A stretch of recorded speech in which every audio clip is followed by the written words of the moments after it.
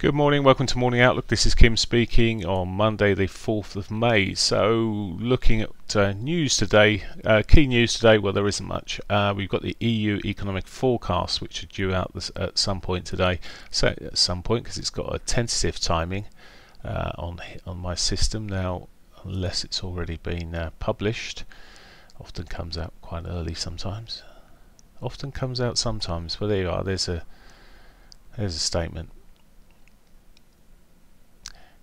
Okay, not seeing those figures out yet anyway. So, um, possibly this morning we'll see those. Uh, but, I mean, they are for the next two years, that data. So, it's the forecast for the next two years. So, you might have a little bit of movement coming from it. We'll see. But for now, um, euro dollar, well, the euro started off in a downward track this uh, since. Uh, trading began there uh, it actually gapped down a little bit there it's found a bit of support off its 4 hourly 21 here weekly pivot however uh, it looks on the shorter time frame we've put this bullish engulfing on the hourly but uh, as we just hit the 8 o'clock period here just selling off again uh, what would make me interested in the upside? Well, if we get a break above this 60 minute, 60 minute 50, um, I'd be a bit more positive on it.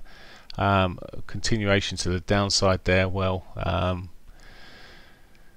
we'll see how that, that, develops this morning. If it starts uh, rolling south, we could be, and we're already into, uh, as I say, the weekly pivot down towards uh, into the S1 on here. Um, so it does look soft at the moment, and we just may see a continuation, but uh, I would need to look at a near-term trigger for that uh, downward movement, but as I said, it's a lot. It's almost easier this morning, looking to see if it gets a bounce and it, it breaks these these highs here.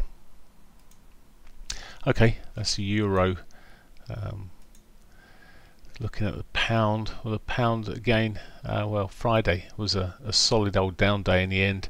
A uh, bit of a bounce there uh, this morning, but um, not massively encouraging. Uh, well, coming off its four hourly 50 again, uh, we're seeing that sort of movement. But uh, as the market starts moving now, it's already started selling again. Hourly bullish engulfing. Very similar picture there. Um, the hourly's a little bit less certain for me in terms of the break. Although it has got the weekly pivot above, so maybe a break above that previous candle continuation move uh, may see us run towards that 60-50. Um, again to the downside if this is going to continue. Just need to watch it first thing this morning. I'm a little bit lacking in trust in the first sort of half an hour trading quite often. We see quite the opposite thing happen and then it switches. So uh, just need to watch this but it may be that we get a, a setup in the shorter term um, within the next half an hour or so. And if we see that to continue I'll look at the uh, downside. But for now I do wonder whether these two markets will uh, bounce Dollar yen. Well, yen is sitting in that sort of uh, no man's land again. It ended up in an inside day on Friday. Here, it's into its weekly pivot as I'm speaking, or near, pretty near it anyway. It's not quite there. It's uh, just consolidating again. It's, we saw this on uh, early last week. They just consolidated, didn't really give a lot of uh, idea to direction. We may just be seeing this again people talking about risk on, risk off. Well, the risk is back on. Well, we should see this bounce up a little bit more, maybe. Um, weekly pivot, daily pivot, both above. Uh, may draw it up there, but oh, it's got a fair few pips there to be had, I guess.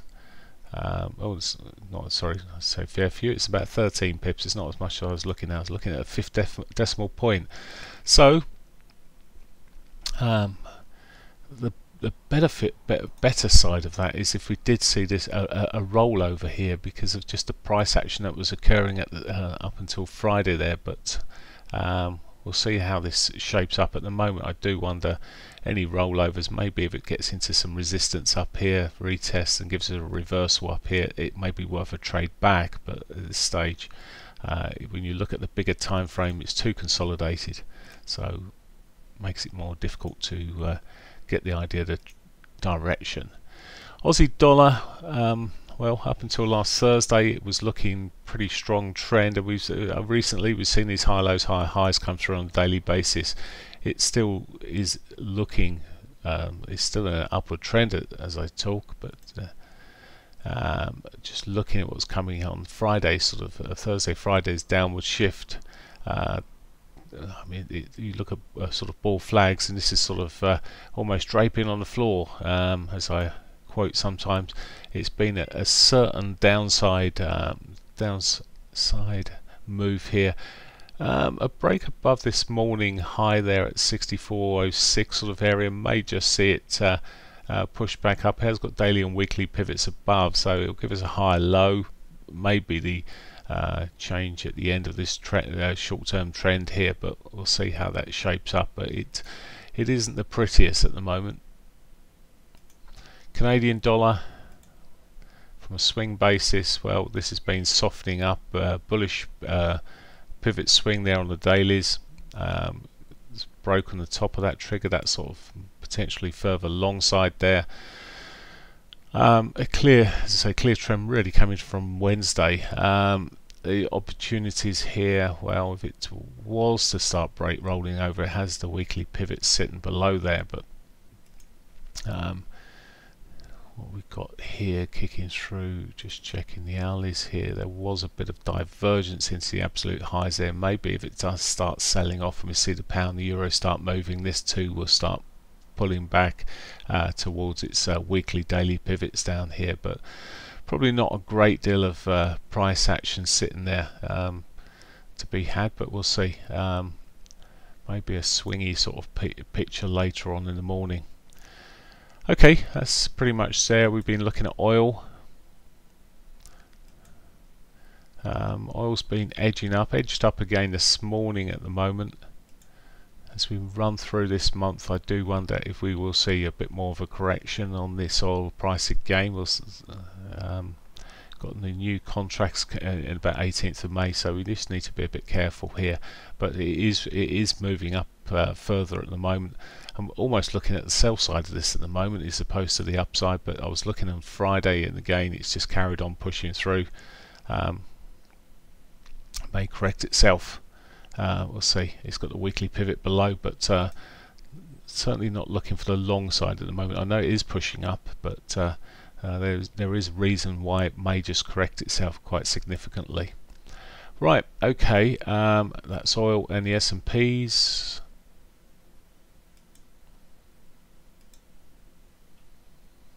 So the S&Ps last week just shot through the 61.8 there a little bit. Um, again, seen a little bit of uh, uh, positivity through the Asian session here.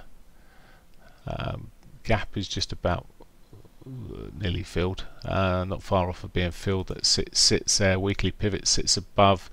Um, daily and weekly pivot uh, sitting above there. As I say, the gap's near enough filled there. In fact, yeah, it's just short of the actual bodies, but it's, it's certainly fit the, filled the tails there. Overall, I'm, i remain bearish on the bigger picture, but uh, short term this may come back up to, uh, as I say, to hit those uh, key pivots there. Um, maybe this morning it may give opportunities later in the day for the short the sell side, but we'll see the reaction to back to those moving averages at that time. So. Um, bit of waiting around this morning just to see, as I say, coming back to this euro, for example, just waiting to see what's happening at the moment. It looks like, well, maybe just continue to the downside, but could just be falling into that. And you just see, as I spoke there, it just blips back up there short term. Just watching this, it's sort of a, could be just sitting off this bit of trend line here. Um, it's almost back to its original trend line, not far off it. Uh, may just bounce, react off that, and continue to this uh, little uh, bounce that we're seeing. Okay, right. I will see you tomorrow. Bye for now.